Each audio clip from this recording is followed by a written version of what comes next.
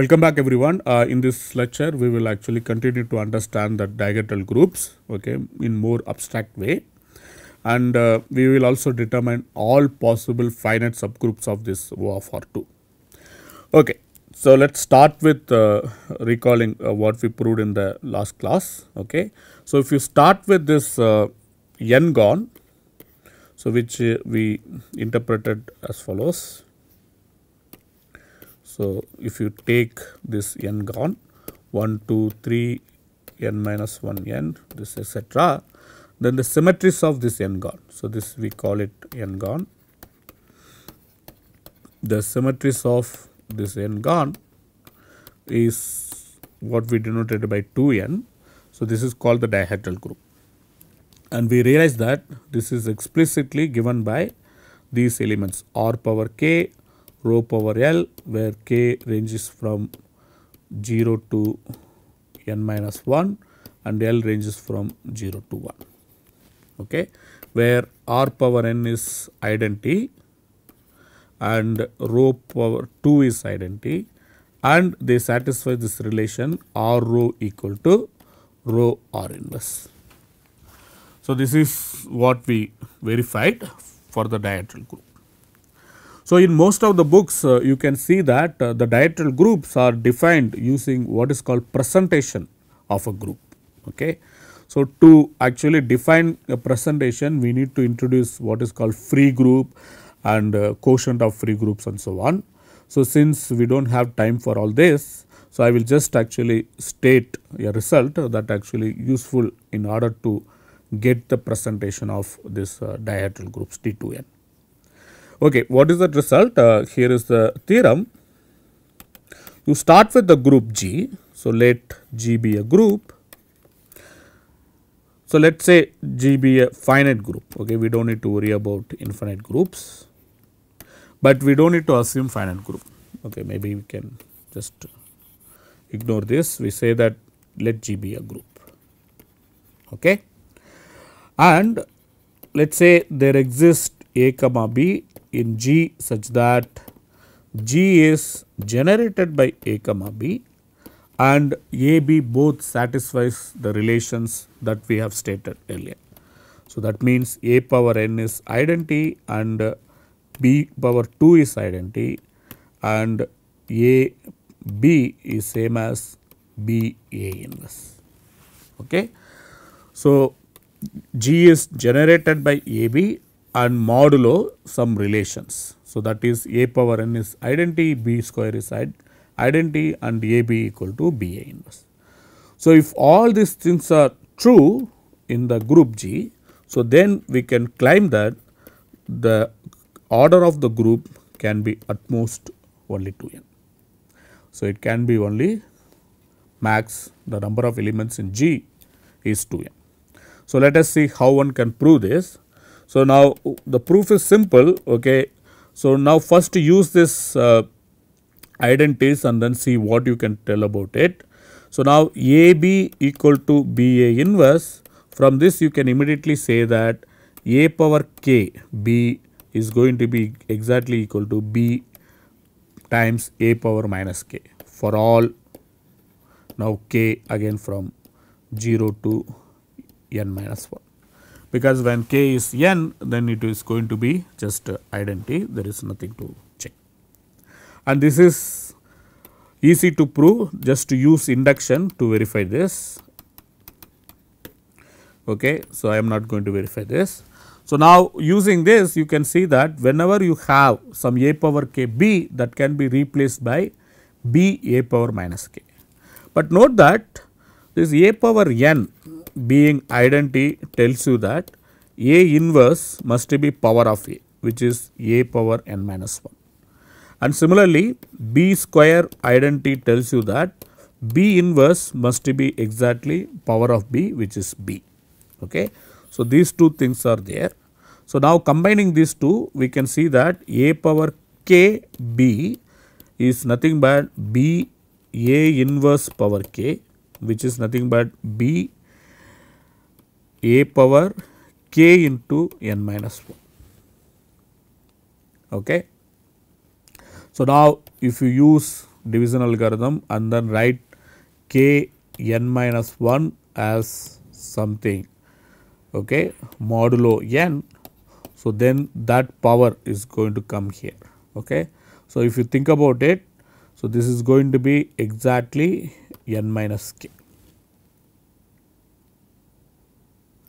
and note that if you take k from 0 to n minus 1 then this n minus k is going to be non-negative. So, n minus k is going to be non-negative. So, then this is exactly a power k b is exactly b a power n minus k. Okay. So, this is this is what this identity says for k from 0 to n minus 1. So, now we have all these relations.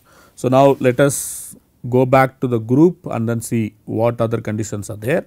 There is this one more condition G is generated by uh, this AB. So, now you can see that since G is generated by AB, so given any typical element x will look like x equal to some A1, A2 etc. some AR where AI will come from either A a inverse, B, B inverse. So, that means this AI will come from A some power of A which is n minus 1 again B okay, because B equal to B inverse. So, that means this x you can write it as some A power k 1 B power k 2 A power k 3 B k power 3 and so on some a power kr b power kr plus 1 and these ki's can be just non-negative integer. Okay? Non-negative integers. Because x is written as product of all these ai's where ai's comes from this. So, now using this relation you can see that whenever you see a power kb you are allowed to replace that by b power a power n minus k. So, that means whenever it is not in the correct order. So, we want to write it in the correct order. Okay. So, so our we claim that okay let us make a claim first. So, claim is that the group is given by a power k b power l where 0 less than or equal to k less than or equal to n minus 1 and 0 less than or equal to l less than or equal to 1. So, now we may not know that whether a power k b power l could be equal to some other tuple a power k dash b power l dash. So, it can potentially like can have less number of elements, but from this claim it is immediate that the cardinality of G is at most 2n. So, that is all we wanted. Okay. So, that is the claim that uh, we are making and that is clear from this uh, claim. So, now given x we already know that it can be written as some a power k 1 b power k 2 etc. a power some k r b power k r plus 1. Okay. So, now you can see that if, if something is not in the correct order, okay, so you, you are allowed to actually replace. So, let us rewrite that relation that is b a power n minus k, b a power n minus k is nothing but a power k b. If b power is 0 then it is all going to add up this k 2 is 0 then it will then k 1 and k 3 will add up okay that will be in the correct order. So, the only time when k i or k 2 is 1 so that is the time you will be having power 1 here. So, that time you can switch so, now just use induction and convince yourself use induction. Convince yourself that x is some a power k dash b power r dash. Now, k dash has to be between 0 to n minus 1 because a power n is identity there is no other option. And r dash also can be at most 0 or 1 there is no other option. So, that proves that G is indeed equal to this a power k b power l where k ranges from 0 to n minus 1 and l ranges from 0 to 1. So, that proves that the cardinality of G can be at most to 2n. Now, for some reason if you know all these products a power k b power l all of them are distinct.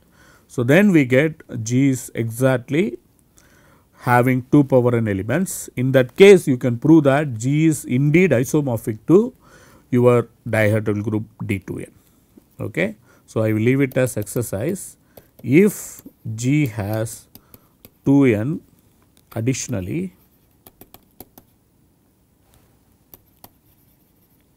So, then prove that G is isomorphic to D2. So, basically this isomorphism comes from mapping A to R and rho to B. Okay. You can directly check because uh, we have this relation b power b into a power n minus k is same as a power k b.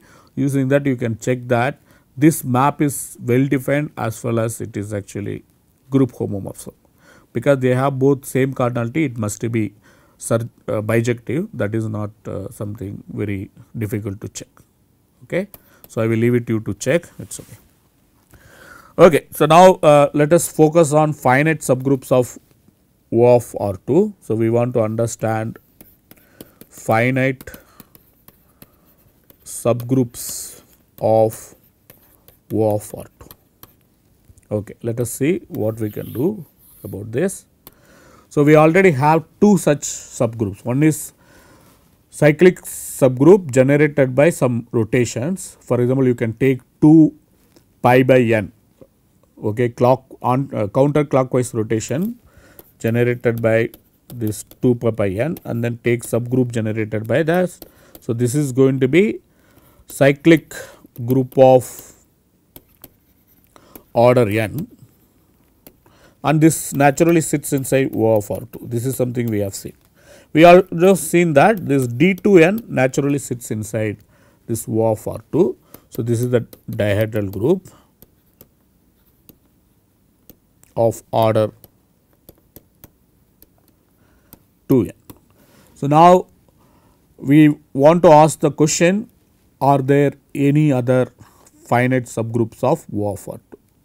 So, our claim is so, the, here is the theorem. So, these are all the only. Okay. If G is a finite subgroup of O of R2, then G is isomorphic to let us call this is some Cn or this is D2n. Okay. So, these are all the only finite subgroups of O of R2.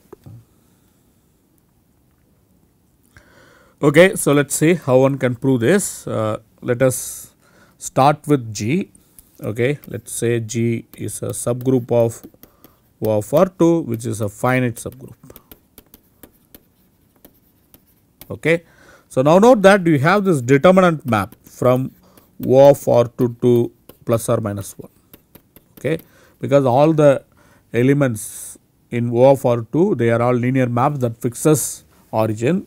So, they are isometries that fixes origin. So, that must have determinant plus or minus 1 that is what we saw. So, now you can see that you can restrict this determinant map to G. So, again you will get a group homomorphism from G to plus or minus 1. Now, you take H to be the kernel, the kernel of this map determinant of determinant restricted to G. so, now there are two choices either H is full or it is proper. So, let us actually first understand this H. So, what is this H? If I start with some T from this H then the determinant of that is 1 that means this T is nothing but some rotation or of or theta of T.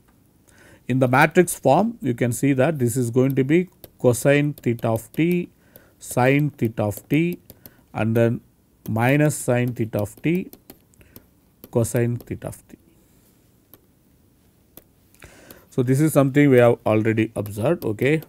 If you start with an element of this O of R2, if it has determinant 1, then that must be a rotation okay, and rotation about the origin. And if it is if it has determinant minus 1, then that must be reflection and we also have formula for that. So, now this is a rotation with respect to let us say theta of t. So, now we want to understand this h. Okay, what we will do? We will actually choose r.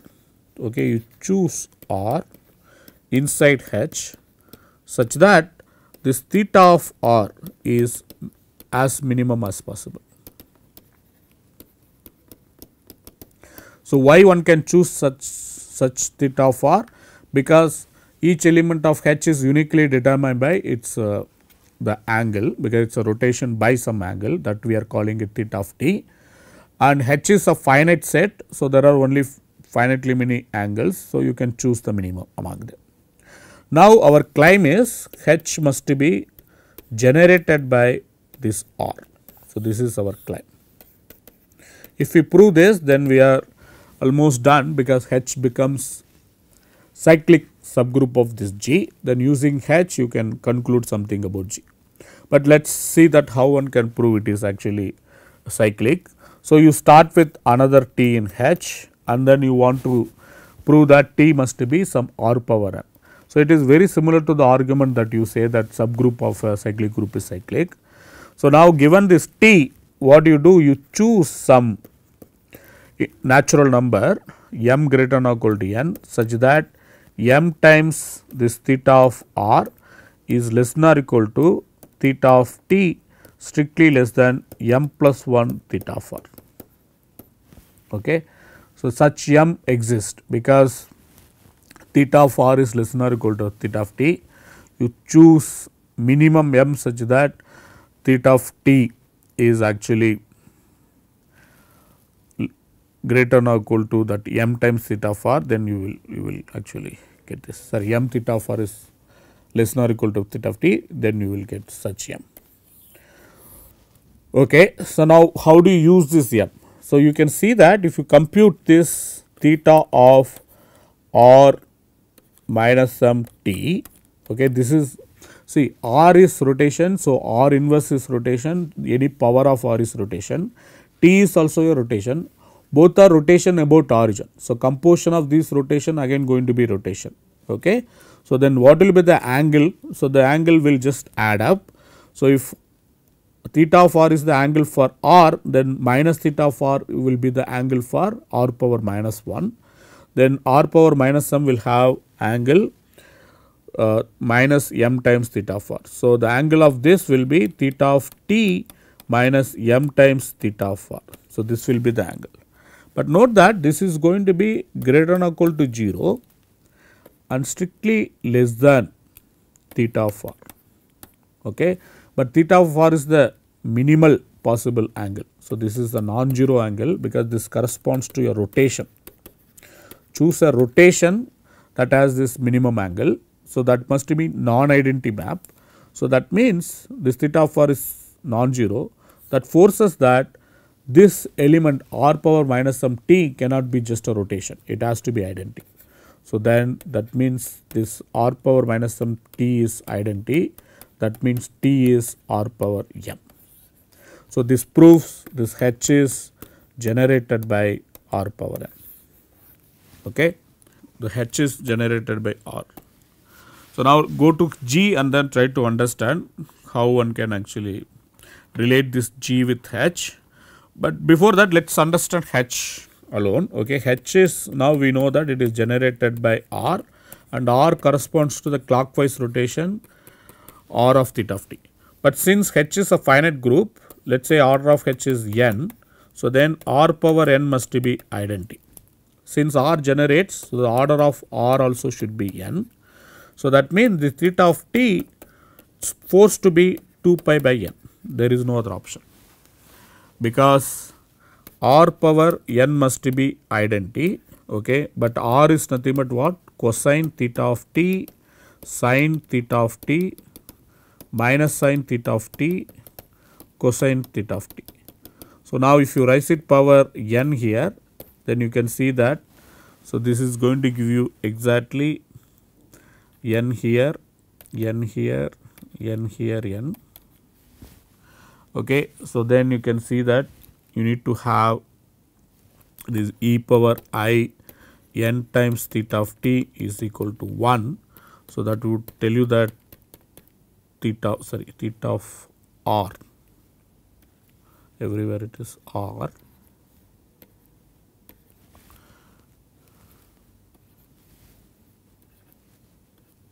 So, theta of r should be just 2 pi by n. Because n times theta of so theta of t already lies theta of r lies in between 2 pi and 0. Okay, this is just some simple fact from complex analysis I guess you can do this. So, this proves that uh, what is your r? r is nothing but r 2 pi pi n. So, this is your rotation about the origin okay and h is very explicitly given by this particular cyclic subgroup generated by this rotation by 2 pi by n.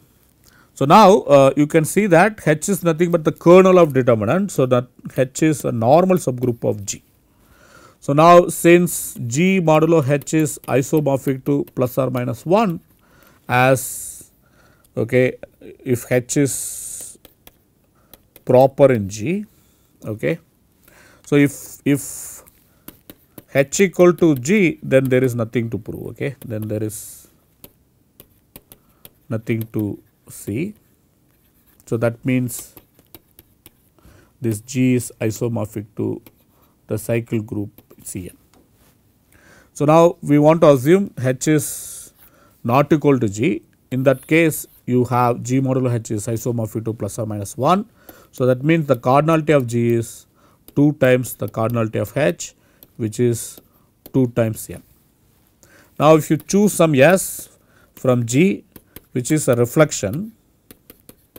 So, reflection means the determinant of S is minus 1 then you can see that G is nothing but H disjoint union S time H. So, that means the G has to be equal to R power K okay you can also see that SH will be same as HS as H has index 2 okay the G modulo H is 2. So, then this is R power K S power L and then K varying from 0 to N and then L is varying from 0 to 1. Okay. So, basically G has exactly 2n number of elements and uh, G is given very explicitly by these uh, elements.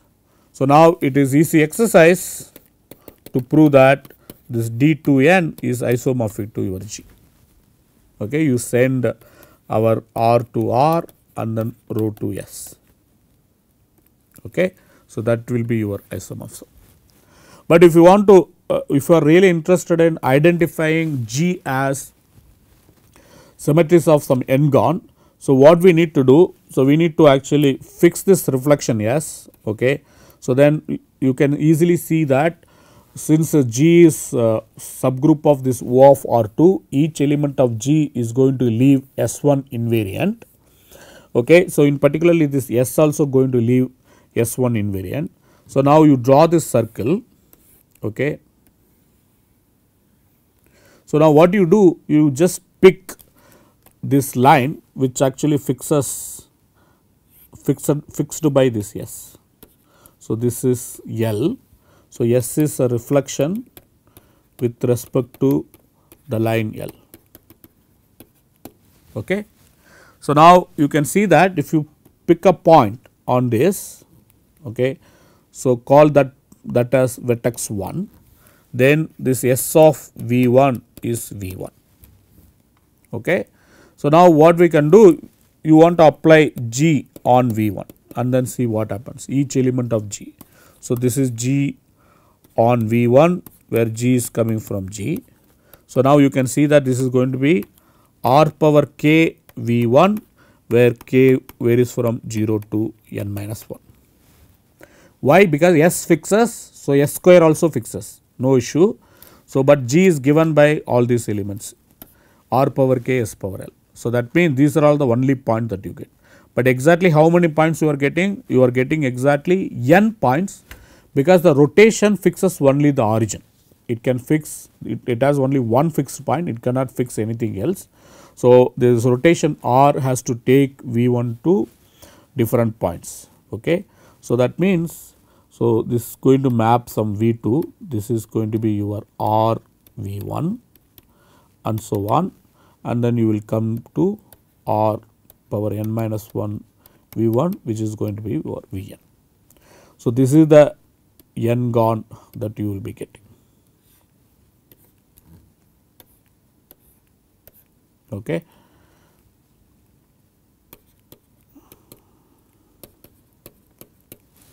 Now, it is clear that your group G actually leaves this n-gon invariant and the symmetries of this n-gon is going to be exactly your G because it will have exactly 2n number of elements and these are all the elements that you have already listed. So, they are all distinct elements. Why they are all distinct elements? Because so like I said if you if you make them equal then it will say that rotation equal to reflection that cannot happen. So, that means they are all distinct. So, anyway, so this shows that you have a natural n-gon okay, for this group G on which it is naturally acting okay, and then you can see that uh, the symmetries of that n-gon is nothing but your group G. So, this is also telling you that you are allowed to actually root like change this n-gon there is no issue okay? Because this reflection yes is is randomly chosen reflection. You can also choose some other reflection and then uh, try to play around the same game okay so i will leave it you to think about all this like what are all the possible points that what are all the possible n-gons that you will be able to get it uh, from this uh, argument okay Okay, I'll, I will actually uh, stop here. So, this is actually completes all the uh, all the results about actually isometries. So, we we understood what are all the isometries of R2 and then later we defined the di dihedral group and then we realized that uh, the finite subgroups of uh, this uh, O of R2 they are nothing but uh, either cyclic group or this uh, dihedral groups. Okay. So, with this actually we, we actually get lots of lots of examples uh, coming from this isometries. Okay. So, I will stop here. Thank you.